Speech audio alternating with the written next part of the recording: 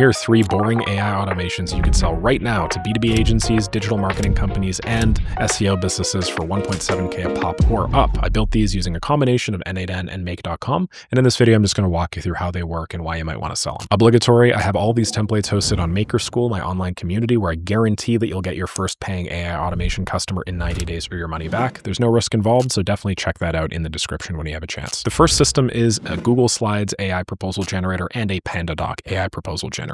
I offer two options here just because in order for the PandaDoc AI proposal generator to work, and it's a lot higher quality, believe me, you do have to pay a fair amount of money. Google Slides, on the other hand, is completely free. So I just wanted to give people here options on what to use. In a nutshell, the way that this works is for those of you that are unfamiliar with agency sales process, usually it involves some sort of discovery call or a closing call, basically some sort of transformation event where the salesperson of the agency tries to guide a prospect through their pain points and why the agency is the perfect fit to solve those pain points. And in order to do so, usually they have to generate some sort of proposal. Now, proposals are very laborious, and typically, if you want to do them by hand, they take a fair amount of time. You got to get the wording right. There's also a fair amount of design involved. What this system does, both of them, is this automates that process almost completely for you so that all you need to do is get a proposal template, and then we have AI generate everything in the prospect's own tone of voice and words so that by the end of a call, or hell, even before the end of the call, the salesperson can have a beautiful looking, high quality proposal all ready to go to put immediately in the prospect's hands. And the reason why this is valuable is obviously you save sales administration time, which helps the company because now your salesperson's time is spent doing things that matter, like talking to customers and not things that don't matter, like generating proposals. But more importantly, the sooner that you can get something to a customer, typically the higher the conversion rate in a nutshell. Okay, enough talking. How does this actually work? Well, first you click test workflow.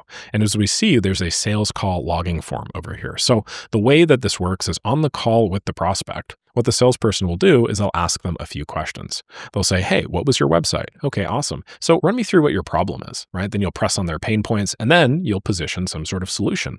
While you position that solution, if it's a custom project, you usually come up with some sort of scope. And then in your head as a salesperson, you'll have some cost and you'll also know how soon you can generate it. So I've actually had AI just help me template out this stuff because I don't want to actually have to jump on a sales call in order to get all this data. So let me just copy and paste the problem. And the problem in this case is client spends 10 hours a week manually processing inbound form submissions, triaging leads, and updating their CRM. Our solution as an AI automation agency is going to be an automated workflow that captures form submissions, scores leads, and then updates the CRM. I'm going to paste the scope, I'm going to paste in the cost, and then I'm also going to paste in the how soon.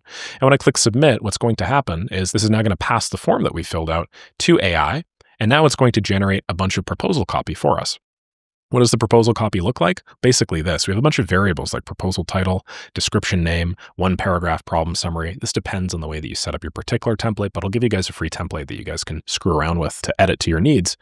And once we have all of these variables here, all we do is we replace fields inside of a pre-existing Google Slides template. And the end result, if I go to my email, is you send an email to the prospect alongside a Google Doc. And if they open it, it looks something like this. So automated lead management for one second copy, efficiency boosting workflow automation to streamline lead capture and management. So I just got this template directly off of Google Slides. Feel free to do whatever the heck you want to it. But here we have the automated lead management for one second copy, efficiency boosting workflow automation to streamline lead capture and management.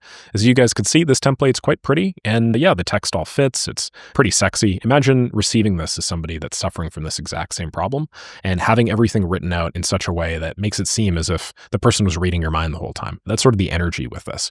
We even go as far as to have like pricing connected and then give people next steps.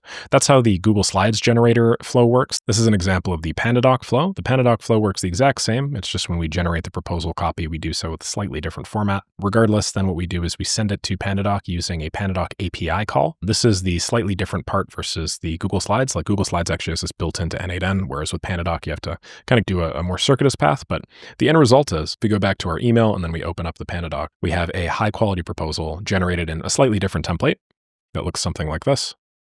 That includes basically like a customized letter that we've written to them alongside a bunch of additional work here. Okay. So as I'm sure you can imagine, you guys can customize this to your own liking and make this even better than you guys see here. The second system is a completely automated follow-up system that's perfect for B2B agency sales processes. So this is the system. The way that it works is you basically have a CRM as the data source. Now, what CRM am I using as the data source? I'm just using Google Sheets. The reason why is because Google Sheets is simple, it's straightforward, and it's free. You don't have to use Google Sheets though. You could swap this out for whatever you want. Trello, Asana, ClickUp, what have you. This is what my CRM looks like. So we have a first name field, a last name field, an email field, company, phone, lead status, source, industry, notes, and then the important one here is the last touch field. And this just represents the last time you've had some sort of back and forth with the prospect. A lot of CRMs track this stuff for you automatically. I just built a custom last touch column here in Google Sheets to show you how this would work. And the essentially the way that this system works is every day we're just going to check this field, evaluate the last touch date, and just see how many days has it been since the last time we talked to the prospect. If it's over a certain number of days, well, then we just follow up with them, and then that field also gets updated. So, what does this actually look like? To start, we search the rows. Then we set a variable. This variable is just the date. So we use a little bit of custom date logic here, and the parsing is nowhere near as big of a deal as it looks like. This looks really scary from the outside in, but it's not. And then what we do is we actually grab all of the email history that we have with the prospect and then feed that into AI. The reason why we grab the email history from the prospect and feed it into AI is so that we know in what context the follow up message should look like and seem. So, this is a big prompt that I put in. This is some more text where I'm providing it the conversation history here, which I'm aggregating from the get sent and get received. And Then ultimately, in my case, I'm creating a draft, but I'm sure you guys can imagine in your case, you guys can do whatever you want. You guys could even automate the sending of this. So I'm searching through all the Google Sheets. It identifies one of these records as not having been followed up with or touched in four days. And then what we're doing is we're grabbing all of the history of the email address communications that we've had. So basically, every email that I've sent to this prospect and every email that I've received from this prospect just pops up immediately here. Then we feed all that into AI. And once this is done, now all I have to do is go back to my drafts, open them up over here, scroll up to the top, and just say following up. And as we see, we now have a customized email. This specific email doesn't reference anything in prior emails, but the system does. And all we're doing is we're just checking in after the chat, seeing if they have any other questions, or if Tom in this case is ready to move forward. So the reason why systems like this work so well is because they take into account the context for one. Two, the email follow-up isn't always going to be the same email follow-up. It's going to be dynamic. It's going to be unique. And then three, this is probably one of the simplest formulations of an email follow-up system. You can set two or three routes. In my case, I've done four days, eight days, and 14 days, and then just have this run once per day. I'm saying every day here at maybe 8.04, so it doesn't always seem like you're doing doing it at exactly eight. And yeah, the value in this is now you just have a system that automatically follows up, takes into account the last follow up as well, and it'll just always be different. It'll always be unique. And this is a very simple and straightforward way to squeeze another 10 to 15% out of a sales funnel. The third system is a cyclic content generator. This is something you could sell to any content based business, any SEO business, really any sort of like brand as well that needs to generate content with any regularity. So the way the system works, and I've actually already triggered this because it takes a fair amount of time, is a simple form pops up asking you for a keyword. So I put in the term AI automation. It also asks for an email, and I put in nicholassarif at gmail.com, just my private email. From here, we have a number of things that occur. The first is we actually feed an OpenAI call using the web search API that goes and it finds outlines of content on AI and automation. Okay. The reason why this is really valuable is we using the outlines, we then grab citations that allow us to have statistics basically relevant to the pieces that we're going to generate. So instead of us just hallucinating things, now we're actually going off of real data. From there, we extract and format these two pieces of information just using AI into an intermediary format that's good for us. And this is really the juice of it. What we do is we feed all that information into an OpenAI call that says your task is to generate a high quality comprehensive outline for an article on a given topic. The topic's provided to you along with three outlines of other articles that we've scraped from the web, as well as a bunch of citations with one line conclusions. Your job, digest these articles, understand the citations, generate a new outline, make sure your outline is significantly better, and then ensure you're not repeating what the outlines are, but you effectively encapsulate the concepts and ideas they're talking about in your new mega outline. Okay? We then generate the mega outline. So on the right-hand side, as you guys can see, we've now generated the mega outline. I don't know why I don't use the schema view, I guess so that I can actually scroll through this. This mega outline is written in markdown format, and you guys can see it actually includes a bunch of links. And the links there are super valuable. Not a lot of people include links in AI-generated content, but the second you have citations, you both significantly increase the discoverability because it's better for SEO, and two, you also just ground the content in fact. Now, the real juice, aside from the outline that's being generated, is we will take this whole outline, then we just separate it based off the headings. And then for every heading, what we do is we just write a section specifically for that heading. So usually when you generate content, you have to trade things off. It's always a trade-off between how much content you're going to generate and then the depth that you're going to be able to go into in any one individual part of the content.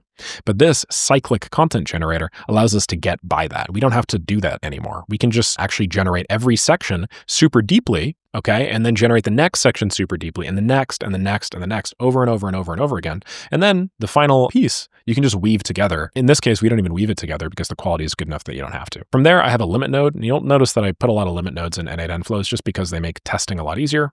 Then from here, what we're doing is we're actually taking the previous section and we're feeding it into another AI call. And the purpose of this AI call is basically just to summarize the below article in three sentences. The value there is we can then feed it into an OpenAI image generation node which then goes and it generates us some image. So in our case, we've generated this agentic AI cute little bubbly thing. And we're actually going to put that in our article. So not only are we going to have citations and sources and links, we're also going to have high quality images. From there, we do a little bit of data formatting and, and logic. And then we do a bunch of Google Drive steps. We create from HTML file, download it to N8N, re-upload it to Drive, delete the HTML file, and then share the link in the email. Why do we have to do these? This is just a quirk of the way that Google Drive API and N8N work together. The end result, though, is if I go to my email, you'll see that there's an item shared with me, AI automation navigating the future of intelligence.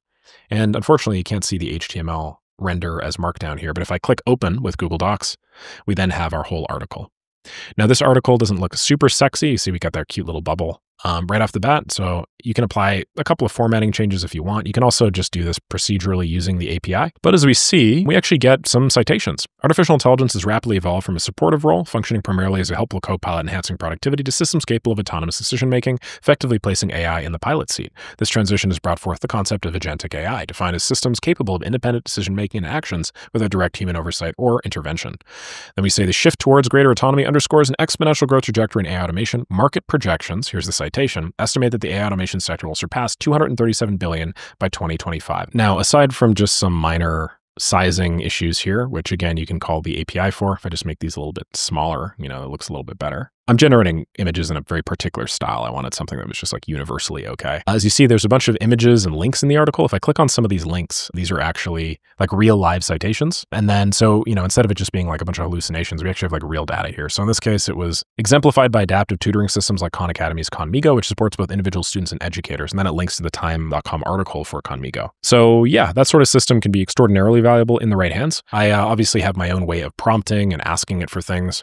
And this is by no means the best way of prompting it and asking for things. You can also generate much higher quality images than the particular implementation I'm doing here. If you just call like the GPT 4.0 image generator, I'm just doing this to save on token costs and stuff. But yeah, that's another really, really powerful system that you could sell to basically anybody in the digital space. Hopefully you guys found that valuable. Definitely, if you want to sell AI automations and make a living off of it, check out Maker School. Our most recent win was from Salvador Santolucido, who just landed his first client at age 15 in two weeks after getting started with the program. I guarantee your first AI automation customer in 90 days or you don't pay a cent. That's kind of like the promise of the program, assuming that you follow the steps. So yeah, we're a great community and I'm increasing prices every 100 members to reflect the increased value. So definitely get in while you can. Aside from that, if you guys could do me a big solid, like, comment, subscribe, do all the fun stuff that bumps me to the top of the algo and I'll catch you on the next video. Thank you very much for making it to the end and have a lovely rest of the day.